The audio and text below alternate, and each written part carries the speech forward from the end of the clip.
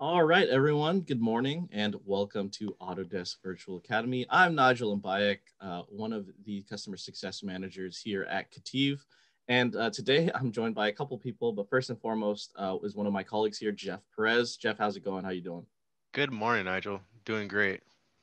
Awesome. So today we're going to be going over uh, tube and pipe, uh, specifically in Autodesk Inventor, and Jeff's going to be going over some uh, isometric, draw isometric drawing creation, something Jeff's been really familiar with as he's one of the instructors we have on our team for tube and pipe, as well as things like Plant 3D. So I'm really excited that Jeff's uh, here to join us and teach this session. If anyone has any questions at any time, go ahead and post those into your respective chat panels. We'll go ahead and answer any of those during the session or during the dedicated Q&A at the end. Um, and if anyone has anything else, you can go ahead and type those in and we'll answer those even if they're not related to today's session. Um, but with that, I guess I'll pass it over um, and we'll go ahead and get started.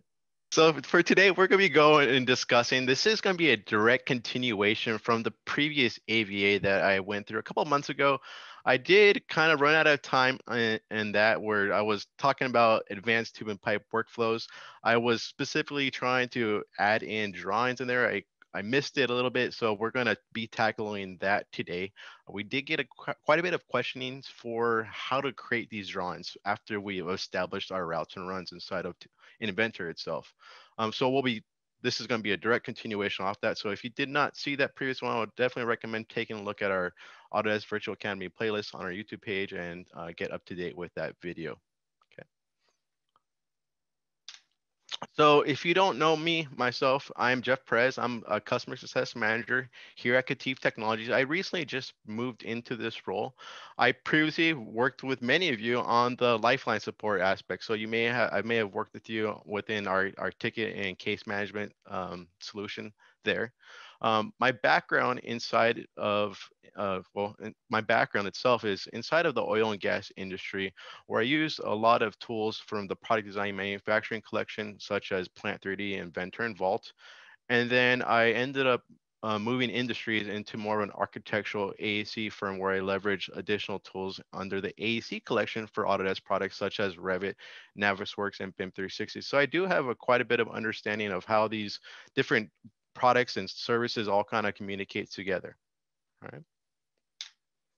Now for today, our objectives are going to be structuring our tube and pipe models. I'll then be providing some strategies for creating your inventor isometric drawings.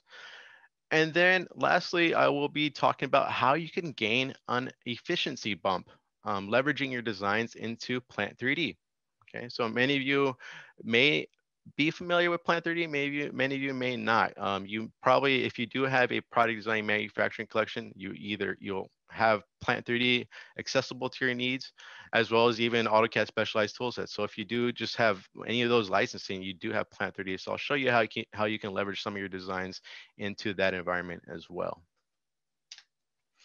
So with that being said, we'll just dive right into it from the demo portion. We'll go from the demo and we'll go directly into Inventor. So if you were a part of the last AVA, you you did see we were working with this um, this little compressor skid package that I built up. Um, you could kind of see we do have some unique equipment in here. We have some compressors, uh, we have some heat exchangers in here, and then we do have some several tube and pipe routes that have been generated inside of this assembly itself. Now, in terms of overall assembly structure, I touched on this a little bit in the last session.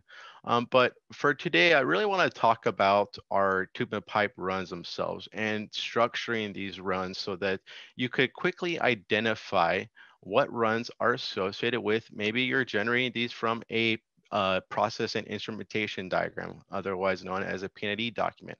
So typically a process and instrumentation diagram will be typically di dictating what your routes and runs are going to be generated of, what, what type of scheduling is going to be needed for your piping and your fittings.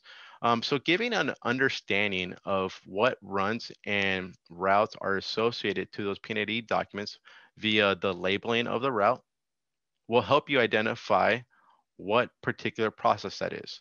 And what I mean by that is if you go into your tools and go into your application options here, and then go into the file tab. And then under file naming defaults here, uh, there is this tube and pipe file naming default segment here. Now, if you, before I kind of touch on this particular aspect here, you could kind of see that on my tree on this left-hand side here, I do have several routes. So about 20 isometric routes right here. Uh, where the very first routes from 1 to 11 are utilizing a, a just a random generated naming scheme here. You can kind of see that it has pipe run 001. And you can see the reflection of that within here. So this is where that, that naming scheme is directly being comprised from. So it's my pipe run. It's bringing in this index number of 01. I find that it becomes very important for you to establish and understand how you want to label your routes, whether you want to label these by this particular naming scheme, or maybe you have your own company standard and want to follow that and match it to what is visually shown on your P&ID document. You can, and you could change that configuration directly here, as well as seeing that inside of your tree here. Okay. So if I were to use just this regular isometric naming scheme here, I would probably never understand what's where this has a relationship to my P&ID document. Versus coming down here, I see that I, I've changed my labeling here from 1, 112 to 113 to 114. And this is gonna help me understand that this ISO 1112 was being driven from my P&ID document, okay? So I'm gonna close out of this really quick. And then what I'll do here is now that I've understood this labeling, this labeling and how I've dictated all this information here. So I'm just kind of scanning through these ISOs here.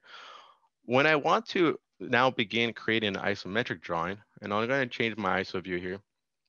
I'll go with this oil header here that I have right there. And I'm going to double click into this route. I would also recommend that you get in you get in contact with your shop or your fabricator or whoever's going to be generating these isometrics and understand what their current process and philosophy philosophies are and what is visually needed from the isometric drawings that you're going to be submitting to the fabricator. Okay, so on top of that, fabrication shops reference dimensions various you know differently across your shops and your fabricators they're all they reference these dimensions quite differently whether it's from a face of a flange or a a center of a fitting okay so with this with that being said work with your shop understand what their needs are for the drawing so that when you create this drawing and you, we translate these designs into the drawing you're capturing all the needs that they need for that now there's a couple different ways for us to create these drawings. So we have this pipe run 02 here. Now I could create a drawing by directly opening this pipe run and I'm gonna click open there. And it's gonna open this isometric run here. Now I can go into new now and then create a new standard IDW. Or if you have any isometric standards, you can. And I, in this case, I do. I have an a standard isometric template so I'm gonna open that. And you could kind of see that because I've, I've worked closely with my shop, I understand that the shop requires uh, quantity information. I, I see that I have a quantity note here, maybe even particular weld details you could have in there, even welding notes. Establishing this upfront within a template is only gonna help you um, be a little bit more efficient with creating these drawings. So now that I have this drawing open, and this is just a unique isometric template that I've created for my drawings, I can then go and go into my base view here. And because I have that route open here, you can see that this pipe run 002 is open. It's automatically recognizing that I have this model that I can place in here. So I could adjust this model, place it where I need to. And in this case, because this, this doesn't have any unique change of directions. It's just a straight run with fittings welded. We have some weldolets and flanges butted together. And then we have a, a flange with a, a, um, a, a blind flange at the end right there. I'm happy with this. I'm just gonna place this and click OK. Or I could place my isometric view, which is what I probably wanna do in this case here. And I'll start establishing what my drawing is going to look like. And again, the overall workflow for creating a drawing or an isometric drawing from your tube and pipe runs isn't going to change from how you're creating drawings currently inside of Inventor. It's just understanding where you can pull these particular assemblies from. Okay, so you saw that in this assembly, I found the ISO that I wanted, I wanted to create. I went into this, my tube and pipe runs assemblies itself, found the run and opened it. Another way you can do that, another way you can create these and locate these drawings is if you go into open, and if you go back a folder, I'll go into, or if I go back a folder, I'm gonna go into where my ISOs are actually being saved at. And it's under my skid package assembly. And you should have an AIP folder that gets created when you're generating your tube and pipe runs. Inside this AIP folder, you'll get an additional folder for tube and pipe. But within here, I'll see all the sub routes that have been created. So routes my 112 to my 120, which I see down below here. I see my runs 01 to run 12, which are these right here. I could dig into one of these folders and I'll say, I'll just go with route two here. And then I could find a subassembly there. And there's that same subassembly that I opened. So you can open it up this way and then, and I'll, and let me go back a folder really quick. Let me go to my run zero one here and I'll open up this one just because I don't want to open up the same run here. And I can open, open it up this way. And it's really the same exact way as opening it up directly from your assembly and then creating your drawing. So I'll create my IDW. I could then place my base, I could place my top, my isometric, and then click OK. Now for setting up your drawings, I've found myself finding it a little bit easier to place my views. And then once I have my views here, with the understanding of what your shop needs, I know my shop and my fabricator typically references center lines for all fabrication. So I'm gonna populate all my center lines first and foremost. So I'll go through here, generate my center lines, my center marks, place these around, okay. I'm gonna add a center mark here just for this flange there, okay. And you could and you could tell this is quite a, a pretty basic, simplistic ISO drawing. This one isn't going to take much time to create. And I'll just adjust this here. So now that I have these center marks here, I'll just align these and I'll, I'll create a little point, just eyeballing it right there. Now I'll place a couple dimensions here. Uh, again, this is where I would recommend working with your, your shop and understanding what's needed visually from the drawings that you're going to be submitting to fabrication. I know my shop really likes the overall length of the spool. So I'll provide that, that dimension. And again, whether your shop requires decimal dimensions versus maybe fractional. So you may have different standards. And then I'll do a dimension from the face of this flange to the center of this, this flange there. That way I understand where that's gonna be tacked and cut. In this case here, in this front view here, I'm gonna do another overall. So you can kind of see this is just a pretty basic isometric drawing. This one's not going to take too much time to create. I'm going to put my overall length, my height. I'm going to do a reference dimension here to the flange height. Because I know these are ASME fittings, um, there's probably not going to be too much difference is in terms of overall values here because this is a standard flange and this is a standard T. So this dimension is really just going to be a reference for my shop. Okay, they're not going to be able to control this. I'll just put a reference, something like that. Okay, so I begin to add my dimensions. That's probably all I'm going to need for this. Um, you Again, you could add as many dimensions as you need if you need reference dimensions like this. I find myself not needing these or my shop may not need these. Um, just, you know, you're just adding ex excess information onto your drawings. Now, what I'll do as well, now that I have this kind of laid out here, I'll go into my parts list now. And within my parts list, I'm going to structure and change my BOM view to a parts only. And I'll click OK and place that bill material here in the upper right hand corner. Okay. Now, if I look at this bill material, I could kind of see what items are a part of this particular ISO run and route. So I do see that I have a couple butt weld fittings. I see my, my carbon steel pipe here, um, some various gaskets, uh, flanges, and even um, any of my, my long radius components as well, which are my elbows. Now that I have this place here, you can go through here and change some of the format of this. So if you, whether you want to kind of sort these by a description or even item or maybe even part number, you can. And again, I would definitely work with what your shop may be needing from a parts list in, in terms of fabricating this particular design. Okay, so we've got my front view. I got my dimensions, right? A couple of things I would probably add here is just add some view callouts. So I'll, I'll give this a front view call out there. I'll enable this label here. And then what I'm gonna do here is I'm gonna get rid of the scale. I don't need the scale in this. So I'll just get rid of that scale and click OK. And I'll just move this out. You kind of see that I'm just orientating this. I'm setting this up. I'm gonna do the same thing for my top view, label that, turn on my light bulb. I'll edit my view label, and then I'm just gonna get rid of the scale. Um, the scale is not gonna be important for fabrication of this particular ISO. Okay. And then lastly, just go into this, this label here, call this isometric view. Turn on the label and then go into deleting the scale. Clicking OK. okay. So you can see we've already got our overall dimensions. Um, so that portion of this ice is already done. With the last portion of this is really just bubbling this, ballooning this in relationship to the parts list. So I'm just going to go through and balloon a couple of these items here. I'll balloon my elbow, click continue. I'll balloon my flange.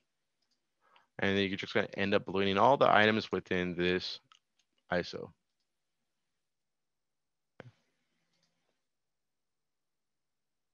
Do that here. Go around. And I'm not making this particularly pretty. Um, you can kind of see some of these are little tweaks. So if you, again, uh, if you want this to look really pretty, I would take your time and trying to get everything oriented as needed, right? So this overall ISO is pretty much almost complete, right? So the, the last couple of things that are gonna be required for this is cross-checking your parts list. Like, it becomes very important to do so. Now, oftentimes what I found myself with parts list and not visually uh, looking into your design. I, I I used to do design reviews within my ISOs before creating the drawing itself because what you may find is as you're creating this drawing and you start labeling things, an example of this could be this sev- this elbow here could be a different schedule than this elbow here.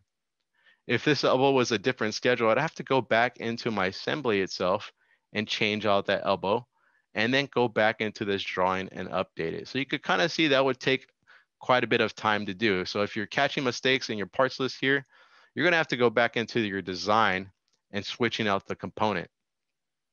And then go back in here and update it and make sure that your bubbles get repopulated properly. So what you can do beforehand, and this is what I'll recommend, and I'll do this with this header here. I believe I have the header open. Let me close this out really quick. I'll show you an example of this. Close out of this one. Close out of this one. Okay. So I'll go back into this header. So to reduce to reduce and be a little bit more effective with your design and translating this into a drawing, go into your run or your route inside of Inventor, and then go into your ma Manage tab uh, manage over here, and then go into the bill material beforehand. And you could do a parts list. I've already enabled this. Uh, what you may see that is the parts, your parts only is disabled, but I've already enabled my parts only here. What I would recommend is do a check inside of your parts list to make sure all your components are, are correct, making sure that these are in line with any pipe specification that you're following. Um, in this case, I could kind of see as I'm kind of scheming through here, I see that my my reducer is schedule 80. So that's correct. This should be a schedule 80 header. But then as I'm coming down here, I see that this pipe right here is schedule 40. It's the wrong schedule. My shop's not going to be able to weld these two components together because of the differences of schedule and thickness between these components. So if I were, if I was going through already the process of creating this drawing, which you already saw and I closed it, I would have had to go back into, into the assembly and change it out. So I could go through here, change out the components I need. I could change size. I'll wait for this to come through and then change out your schedule. So I know that this was schedule 80. Maybe I want to match my pipe schedule, so I would just change this to 40. And then if I go back into my manage tab again, go back into my bill materials here, I could confirm that change has gone through, just cross checking all my components, making sure those are all the correct scheduling. All right, so this looks about right. I'm just going to double check, make sure there's nothing else in here that looks like it is an incorrect schedule or maybe even the incorrect item. So my weldolets look like they're the correct scheduling. That looks all fine. Now within here, I can go through here and sort this particular run. So maybe I want to sort this run by my description or maybe even by part number. You could sort it by your part number first if you're leveraging unique part numbering and then by my description. Okay.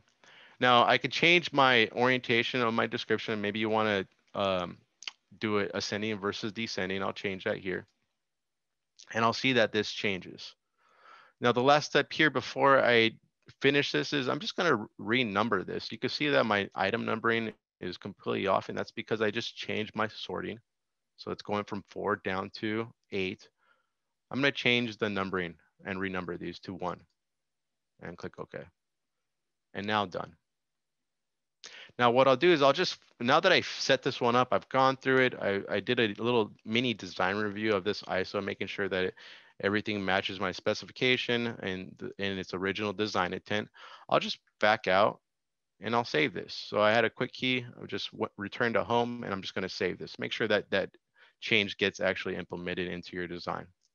So then you could go back into this run and open it and then place it back into a drawing. And I'll go base, place my view again. I could do that same isometric view here, change my view around. And then when I go and annotate and pick my parts list here and change my structure to parts only and place that parts only view here and click OK, you're going to see that this bill material is going to retain that sorting that I did beforehand. And then because I already went through my BOM beforehand, I know that all my components are correct. Okay, so in terms of my scheduling, the fittings I have in here. So everything looks fine. I like the way this is visually seen. I can then save this, finish annotating this and dimensioning this particular drawing. Now, other things I've ran into um, at my at some of the previous companies I've worked at is being effective with your overall design and being proficient with creating the drawings. And kind of what I mean by that is understanding when your routes should kind of be split up to remove complexity. Now you can kind of see that I do have this route. Let me let me go into my assembly here. It lets me select there. I see that I have this route here, and this is my run 11 there. Um, it's it's not that complex, but there is quite a bit of, of parts and valves and, and drain fittings and even vent fittings in here. To generate this ISO would take quite a bit of time compared to what this isometric looks like, right? This is just a simple, you know, start and end point for a route. Where this one, you have multiple tie-ins, we have multiple com uh, components and fittings in here. It's going to take quite a bit of time for me to dimension this to create my spools and then annotate it. All right, and I already kind of did this beforehand, so I'll show you this really quick. And I'll go into this drawing right here. Okay, so I, I, just to save some time, I already placed my views here. So I placed my front view, I placed my top view, my isometrics, and my right side view. Okay, now I've placed some overall dimensions here.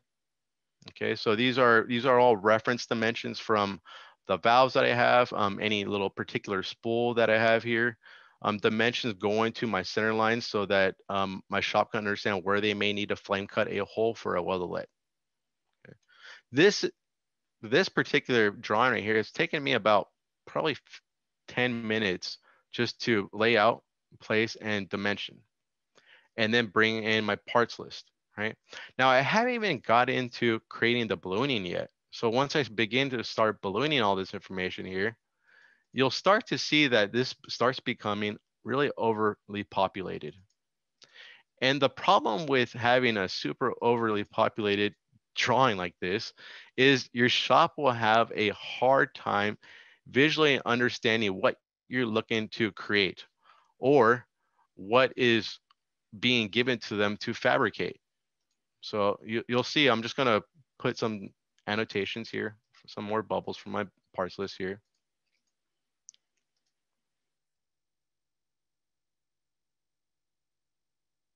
I'm just going to add a couple more here.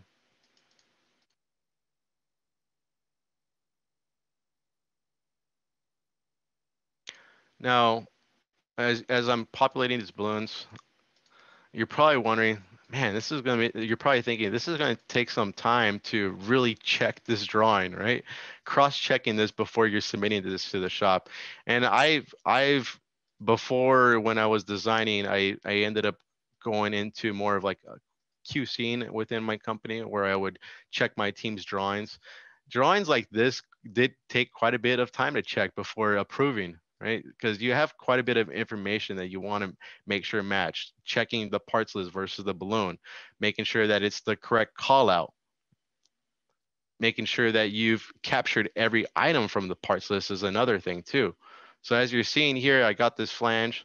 Um, oops, I over, I reballooned that again. So I got this flange here and I'm just gonna add my gasket to this. I'll attach a gasket to this balloon list here. Uh, where is my gasket at? Let's see if I can find my gasket on this list. And there it is. Here's my gasket. I'll just add this gasket really quick. Just trying to get quite a bit of balloons in this just so you can kind of see. But these are just balloons, right? I'm not giving this any annotation call outs. So I'll go through here and I'll maybe I'll add some leader text. So maybe where you're going to and where you're going from. So we'll say to ISO 1112 as an example. I'll go from ISO 111. It's another example right there. Um, maybe you need to call out your drain. So I'll give myself an annotation here, drain valve. Right here, I'll give. That too, Jeff. Yep. Um, I got a ping from Grayston to let you know to bring up the bolting as well, um, because it's different in the sense that it uses like virtual parts. Um, that well. that is that's a great point, and I don't even have bolting on here. So even bolting, right? That's a, a, a great example that I should mention as well. In this particular run here, I don't think I have any bolt. I have any bolting in this run itself. Um, what you'll end up finding is if you're util utilizing virtual bolts, because again, if you add in the actual bolt design into this, um, it's going to take a lot of load into your overall inventor model. Um, so where if you could use a virtual bolt, you could then add the quantities of those. And then as kind of how we're bubbling here, you could kind of see if you did have a virtual bolt inside of this parts list, because I bubble to this, this strainer here, I can then add a, attach a balloon from my list and attach any bolt that I may have. So in this case, I don't have a virtual bolt here, but if, if this was my virtual bolt, I could find it add it to my list and make sure that you have this fully accounted for, right?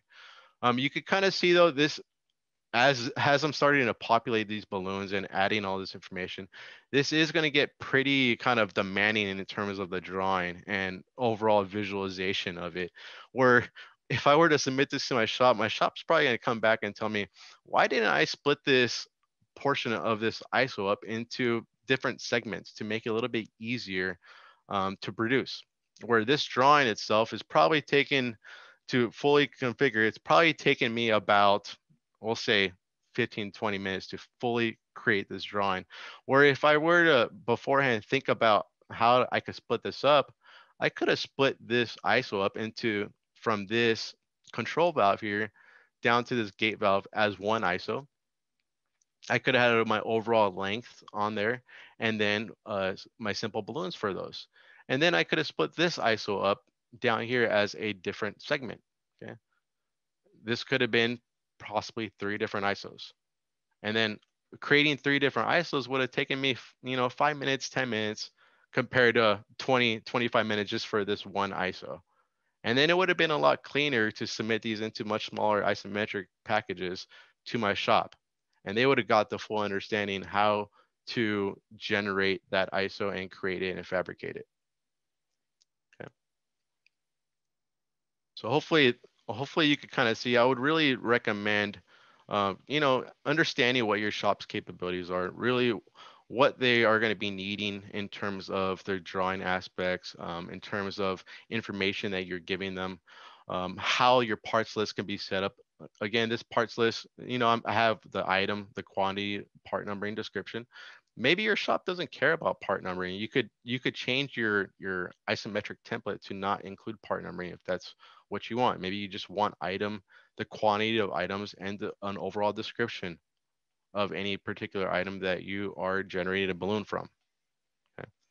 Again, if you're trying to call everything out though, within your ballooning like this as example, um, you're not going to see every item. So I know sandwich between this flange and the valve, there's a gasket there. I'm not seeing that. I won't be able to balloon that. See, I won't ever be able to actually capture the gasket here. And again, as kind of Grayson mentioned, um, if you want to add those, you're just gonna have to attach them from your, your parts list. Okay, add that balloon. Now, I did see that um, Luis is asking, um, what about isogen output? Okay, now isogen output becomes very powerful, especially inside of Inventor. I myself at my at my previous company, I use isogen output in a, a, a numerous different ways. Isogen output uh, uh will allow you to share pretty much your overall initial design from Inventor. And then you could bring that output in as a PCF file into additional platforms or softwares. Now, an example of this is I used to have a, a process engineer that would have to check, do a stress analysis on my designs whether um, understanding you know the services and fluids that are going through my designs um, if there is if they're going to be needing a requirement for a maybe a bend in my design i maybe it made it i may need to create like some sort of loop. That way i'm not creating so much stress between my design. Um, that process engineer could utilize my PCF and bring it into their direct software, such as Caesar was one an example of that, where Caesar would then be able to leverage that PCF file be brought into the Caesar application and then run a process analysis, or even ANSYS as an example. Um, you could definitely do that with. But in this case, you, you kind of saw that this, you kind of saw the process of creating these ISO drawings, right? Now, you can gain a little bit of an efficiency, or you can, I wouldn't say a little bit, you'll gain a lot of efficiency leveraging your isogen PCS and have these be brought into Plant 3D. So I'll show you that now.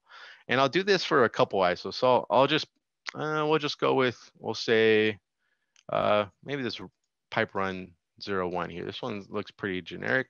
Uh, it has my start and end right there. So inside this run here, I can go into this isogen output here. Okay. Now I have this isogen output. It's, it's automatically picking up that it is a pipe run 01. It is a PCF file, and you can see that it's going to be saving it as an isogen file. I'm going to tell this where I want to save it. I'll just save it on my desktop somewhere. I think I already have some in here. I'll just save over it. I'll replace that. I just exported that one. I'll go back and I'll I'll do a couple other ones. So I'll go with seven I'll do another isogen output. Save it to my desktop. I'm gonna click OK. Finish that. And we'll do one more. I'll go to this route 8 too. Isogen output. save.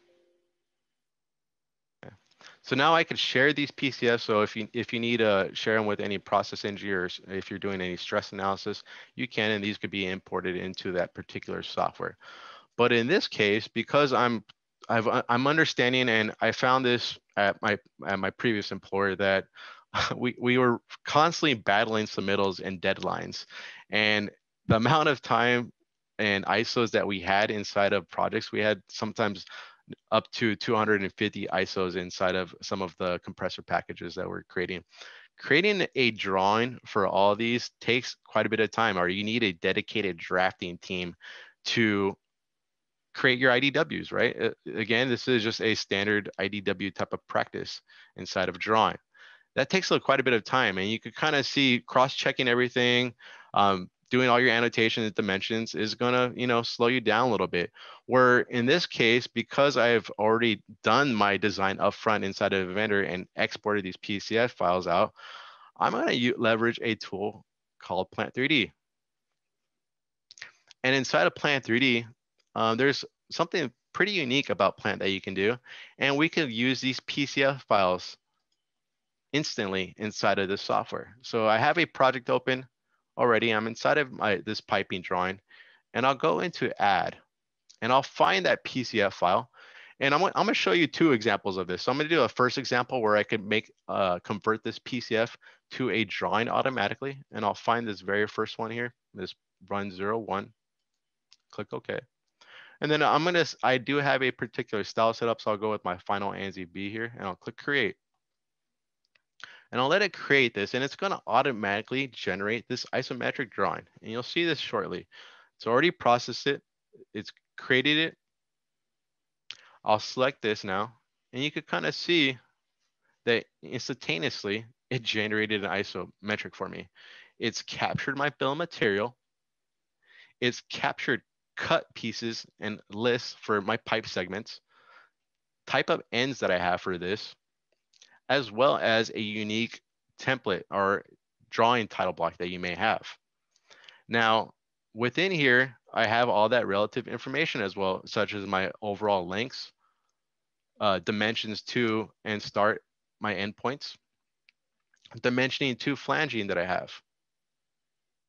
Yeah, so I was able to just generate this drawing in a matter of seconds. I could go back into PCF again, and I'll do another example of this.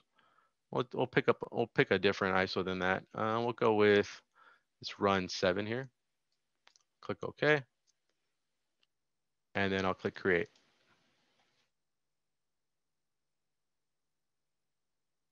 Let's wait for this one to create, and it said it's been successful.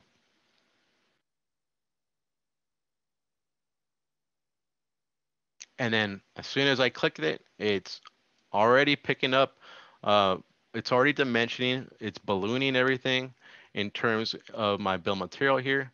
I see my bill material fully populated as well. It's all automatically picking up your nominal diameter, which is two inch in this case, your quantities, and then this descriptions. And again, this is all coming directly from Inventor. Okay, so I didn't really tailor too much inside of Plant 3D. There is quite a bit of legwork to do um, inside of your own uh, plant environment if you choose to use this and go this route, but you can. You can create your PCFs and automatically generate these isometric drawings. Okay, so you can kind of see just creating these two alone, how fast I was able to throw out a output of an isometric drawing. Where lastly, all I would have to do is then print this out and, and give it to my boss or give it to a senior designer that's going to be checking your designs and then give you the okay for you to uh, submit it to your shop. One other way you can go about this. So what it first showed was, you know, going from a PCF directly to an ISO. What I can do also is use those PCFs. And if I go into this home view here, I can go PCF to pipe. And I could actually select all these PCFs, click open, create this piping directly inside of Plant 3D as well. And you can see that this piping is going to automatically get generated inside of Plant. So it's 100% complete. I'll click close. And I'm just going to zoom out just so you can kind of see but it's automatically brought in and converted those PCFs to a relative plant 3D data. which is iso this isometric right here. Okay. And what you're probably noticing right away, just because I'm gonna want I'm gonna want to let everyone know this is the difference in coordinate systems. So if you do want to go about this way here and actually convert your PCS inside a plant and create the actual 3D piping from it, you're to want to understand that AutoCAD Plant 3D uses a different coordinate system than what Inventor does. That's why um, this this piping here looks a little bit tweaked. It's not in the same orientation as my Inventor model. So you, you'll see that this X, Y, and Z, the Z is going at um, at a vertical direction here. Where if I go back into Inventor, let's compare the differences. So the Z is actually going um, to the left over here, where my Y is going vertical. If you want these to really align up together, um, I would definitely recommend if you want to do this process that you generate and create your models so that the coordinate system in Inventor, so I'm just going to kind of align this, matches the coordinate system of Plant 3D. So now, now I can see that my Z is going in the same direction as my Z inside of plant. Okay, so that way when you then create your drawings or, or, create your models inside of Inventor, sorry, let me go back over here. So then when you create your models inside of Inventor with this same UCS system, um, it's gonna come into plant as you expect it to visually see it. It just will take you to generate any, any parts, any assemblies that you're creating with that same exact coordinate system. Okay. Now again, with, with the piping being uh, created inside of plant, what I can do here is use that same uh, tool set for creating my ISO. So I could create a production ISO. What I'll see here is the line number now, now that I imported those PCFs. I could select a specific line number, which in this case, I'll go with my run nine. I'll create the ISO. And that's because I have these all within my, my plant environment now and generate this isometric. So I'll wait for this to populate. I'm gonna get a little dialog box letting me know that this ISO has been created. Go, view, and then I'll click the isometrics to view it. And there we go, there's the ISO. And you can see it has my overall dimensions. It has my uh, callouts, open ends, and all the relative information from the BOM as well. Um, I, I did see a question. Is there any limitations with iLogic or Inventor API to utilize some sort of drawing automation with tube and pipe? I don't believe so. Again, um, the the drawing aspects of Inventor is going to be the same as any other assembly uh, or any other drawing that you're creating. So you should have the same iLogic uh, functionality for um, for streamlining some of these processes for you. Jose, hopefully that answered your question. Any questions so far on, on uh, bringing these PCS into plant? And then being able to create your isometrics pretty rapidly, going about that way? What method would you recommend for you for calculating pipe route capacity? What do you mean by pipe route capacity, Mike Jones? Not sure exactly what you. I Mike Jones. to do it. I had to do it. What was that? Nothing. Uh, Luis, can you can you fix the orientation AutoCAD changes to the Z? Uh, I would not recommend doing that. I would recommend keeping AutoCAD or Plant 3D really your your main um, orientation, but changing the orientation inside your Inventor model itself. That'd be the best bet. Now, Plant does have its own configuration. I will talk about that shortly um, in case this is a method that you want to do. But within the Inventor, really, it's it's the overall process of creating drawings. I know we got quite a bit of questions from that on the last presentation. It is about the same as creating any other drawing. Um, again, I, I would just really think about this from a kind of like a high level perspective and understand when your design is kind of becoming a little over complex versus, you know, a simplistic route that you can create that you can easily, um, you know, throw out a, a drawing from it. Uh, Mike Jones, for a water system, how much water is the whole pipe route in liters or gallons? Uh, Mike, for that, you would probably want to open up the, the pipe run itself Uh, I don't think it's going to be able to show you that, but within the pipe run, if you go into the iProperties here, and then you go into the physical, you do have some some properties here where you could get like volume, um, your mass, your area. You will, you probably will have to do some calculations for that to understand that. Okay. So I'll go back into my PowerPoint really quick.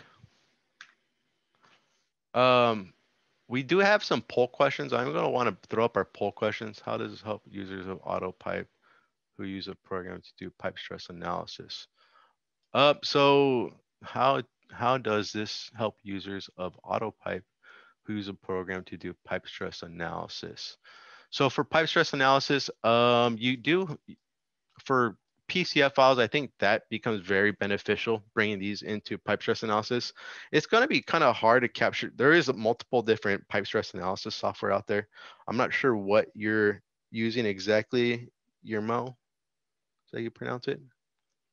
Um, but it will help with overall uh, design aspects and design reviews, whether you need to review, you know, uh, stress within a particular band, um, stress within if you have adequate loops for your piping. Um, I know I've ran into that myself a lot with um, previously at my other company where, you know, I just did, I had too much straight length where I had a, a particular service going through a route that my entire design needed to be changed because I didn't account for the amount of pressure or force going through that pipe. Okay, so as um, I do, we do have some poll questions coming up. Um, with the poll questions, I do want to kind of mention um, some of the projects that I've been working on lately, just so everyone's kind of aware. Uh, but I recently did a plant 3D environment creation. So if you saw plant, if you saw the plant side of it, plant's pretty unique. It um, plant does have the P&ID aspect of it. So I ended up de developing a customer's uh, unique symbology for them. Um, that way they could use their own symbols inside their P&ID documentation. And then I mapped all those symbols inside the project so that they can be leveraged and then have a, a, a direct reflection with the plant 3D model. And then from there, we I developed the pipe, the plant 3D pipe specifications. Um, these specifications were directly dictated by the customer again. So I, I met their standards and needs where I built a pipe specification library for their needs, as well as generating a unique reporting for them. So that way, when you're when you're creating your models or whether they're in P&ID or in plant, um, you're able to get unique reporting features such as maybe understanding how many valves you may have inside of an assembly without having to count everything from your P&ID document is, is pretty unique or getting cut lengths for your welds. Um, I, I generated some unique reporting for that. Uh, most recently, I worked on a P&ID project, a migration project as well, where I took a old P&ID project that had over two, 200 to 300 drawings. Um, that was in an older version. Um, I set it up to utilize with BIM 360 internally, where we had uh, internal KETIV uh, members collaborate together where we could all work on this one project at the same time, upgrading it because of differences with how plant was configured in the 2016 version to meet the current standards of what is in 2021. And again, um, if you, if you see that, if, you notice right away between the different isometric drawings between plant and and inventor is inventor's isos look a lot prettier, right? You you get this uh, parametric view, you get bubbling, you, you're understanding what you're calling out versus inside of plant, it's more of just a 2D line representations, but it is pulling the same characteristics, the same overall dimensions. You're ballooning, you're getting your BOMs. Um, I know when we first implemented Plant at my previous company, it did take our shop quite a bit to understand um, visually because they were so used to getting these isometric drawings that were visually appealing, right? It gave them all the information up front versus now I'm giving them these 2D drawings. It was it was quite hard for them to really grasp and take and make sure that they got all the information out of their drawings so, in order for them to be able to fabricate. So it's a bit of a change. Um, but then again, you get you get the efficiency bump from it though. So you're able to generate all these ISOs within you know minutes versus spending time creating a, a ISO at a time inside of Inventor and then cross-checking everything. There is still gonna be ch checking aspects to it, but you could kind of see how much uh, more time demanding the inventor route will take.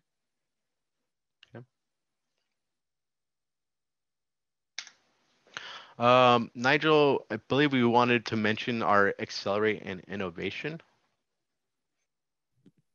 Yeah, Jeff. Um, so we have this event that's happening, and I, I think Jessica's going to go ahead and post the, um, go ahead and post a link in the respective chats of both streams right now. But we're doing this uh, Accelerate Innovation with Digital Transformation uh, webinar as well on March 16th at 11 a.m. Pacific. Um, and that's mainly about uh, Fusion Lifecycle, so PLM. Um, so if you are interested in that, Jessica just posted the uh, the post, just posted the link inside of the uh, inside of the chat. So go ahead and just join through there, and uh, they'll go through those. And then uh, you want to just jump into questions, Jeff? Yep. Hold on. Let me uh, go into the next one question and answers. There we go. Perfect. Yeah. So I see one that's like when using AutoCAD Plant 3D and P&ID, is it possible to transfer routing from there into either Plant 3D and or Inventor? So when changing a item or a line within the P&ID software, have it affect like the Inventor side. So have it, I guess, um, tied to the Inventor models. Not in Inventor directly, but you do get it inside of Plant. That's uh, one of the key benefits of Plant is its its native associativity with P&ID. So as a P&ID document's being changed and updated inside of the Plant 3D software, um, if you're routing directly off the P&ID, you'll understand, you know, what components are inside of, say, Route 101. You'll be able to understand that that route has a valve, a gate valve, a ball valve, and then it has maybe a drain valve. Um, when you're creating your 3D parametric model inside of plant, you could place directly from that particular line as a line list so that you could ensure you're utilizing all the proper components, uh, making sure you're not missing anything. But it also will capture uh, unique values such as tag information as well. So you're, you're reducing time tagging as well. So if the P&ID is dictating tagging sequences for your valves or any components, even the line line numbering, um, you could bring that over directly into the plant model as well. Um, but it does P&ID. So again, the P&ID is not going to have any direct correlation to inventor. Again, it, it, like I I did in the past is I would have to print out my P&ID document and then go through what my very first route is and highlight and making sure that I captured everything inside of my inventor model, making sure I have all my proper events or any other takeoffs or tie-ins and then have that all correctly labeled inside of the isometric drawing when I when I want to take that 3D aspect into the 2D IDW environment. Cool. I think that's just about everything that we have for questions. Do you see any other ones, Jeff, that came through? I'm looking really quick. Da, da, da, Can you fix orientation? I think I got that. How does help users got that? I switch the name. Permission. I think I got it all. Yep. All right. There's one more. Thank you. Lastly, the piping and tubing, tube routing available in Inventor 21 only on earlier packages. Piping, tube and pipe routing. Um, so tube and pipe is only available in Inventor Professional. Um, you won't get that in base Inventor or even Inventor LT. Um, I but think most people now have Inventor Pro though. So Pro, like odds yeah. are if you have AutoCAD and Inventor, like if you have both, um, odds are you have full blown Inventor Professional. I you can't buy regular Inventor anymore by itself. So um, just if you've been like grandfathered in and staying on maintenance for like base Inventor would be the only reason you don't have Inventor Pro. Yeah. Um, so just keep that in mind. And Inventor Inventor Tube and Pipe's been around for quite a bit. Yeah, um, like so at least at least five or six years, if not more. I think even before the 2015 version. Um, I think that's the last one I remember. So it should have it. And then I would definitely recommend uh, Eufirmo to take a look at the previous. I, uh, we were trying to really kind of make this like a like a uh, a little series, mini series for tube and pipe. So my other colleague Adam did the very first video. I, I went from that into advanced workflows and into the drawing just because of the amount of questions we got for showing some drawings on there. Um, I also touched, I did mention, I do want to mention, I did make a blog post for how to create your own naming scheme as well, I'll definitely take a look at that blog post that has some further information so you can understand how to create your own naming scheme. Um, that way you could quickly identify whether what route it is, what information is a part of that route.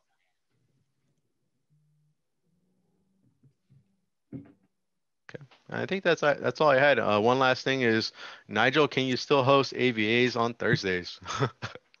wow, trash. Um, no, actually, today's my last day here at KETIV. So uh, I'd just like to thank everybody for joining us um, over the last couple of years. Doesn't mean that AVA is going to be over. It just means that my time here um, is coming to a close. So uh, you'll see people like Jeff or Adam or any of the other people here at KETIV join these webinars. I know they have a lot in store for you all. So uh, definitely stay excited. Um, I'll probably I'll go ahead and subscribe with my own personal. You'll probably see me in like the chat every once in a while. Got time early on Thursdays. Um, it's been a pleasure working with you all. Uh, for those of you who I've worked with, like from you know support all the way to these webinars, all the way to things like pre-sales and even customer success. Uh, definitely a pleasure to work with you all and everyone here at the KETIV organization. So I just like to uh, you know iterate my thanks to everybody. Yep. Thank you, everyone. Irmo, thank you very much for your time. I appreciate all the questions. Again, um, if there's anything else that comes up, feel free to reach out to us and we'll, we'll be able to address those questions for you. Yeah.